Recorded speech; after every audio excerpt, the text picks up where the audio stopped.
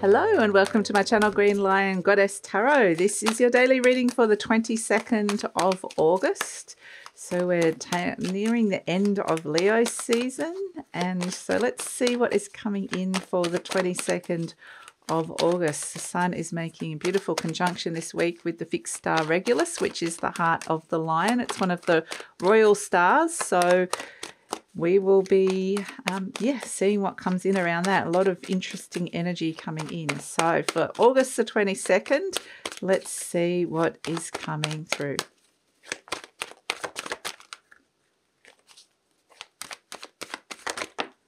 We have the Wheel of Fortune. Okay.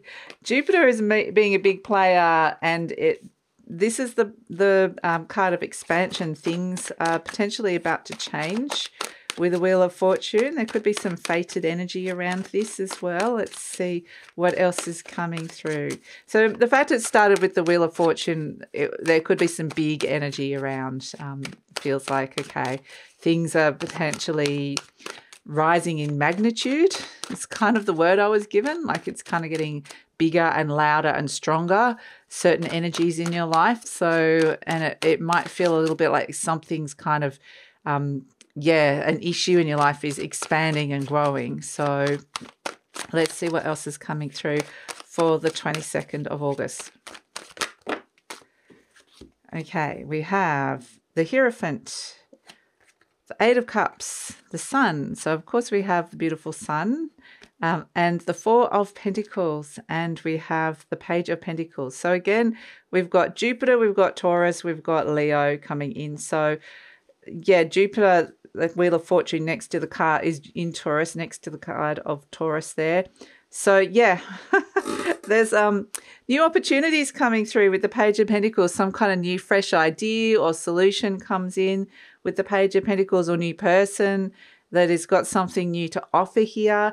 But it's almost like um, there's this feeling there's almost like there's a feeling that's growing and growing and growing here next to the Eight of Cups that's becoming clearer and clearer and stronger and stronger. And your emotions are guiding you to detach. It might feel like you're detach- emotionally detaching more and more from a situation or a thing that's just, or a person that's just not feeling for whatever reason, it just it feels like okay, I'm moving away from that now, and it feels very clear like this is where I'm supposed to be going, even though I might not necessarily know exactly why or what or what this is.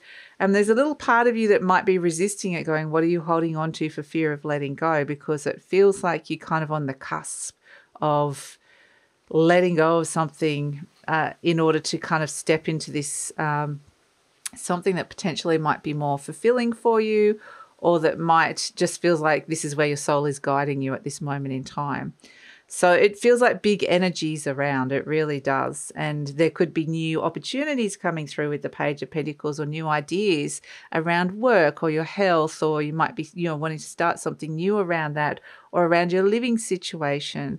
So it, yeah, it feels like there's there's new energy coming in, and the yeah, it's just something's going to start expanding and growing and growing and growing. There's bigger soul energies that are wanting to yeah, amping up, and messages coming louder and louder in ampli- in magnitude. Absolutely, and so these smaller parts of you, the Four of Pentacles and the Eight of Cups, it feels like that hasn't got a lot of um, there's much smaller energies next to the Wheel of Fortune, the Hierophant, and the Sun, and these energies are just coming in super, super, super clear to you. So there's kind of a super clear um, feeling or direction that, or just a sense that you're moving away from something and towards something new, but a little bit of resistance around that as well. So have beautiful Miss Stella. So that's the reading for the 22nd. Thanks so much for joining me. Please like, subscribe, share, leave a comment, and look forward to seeing you tomorrow.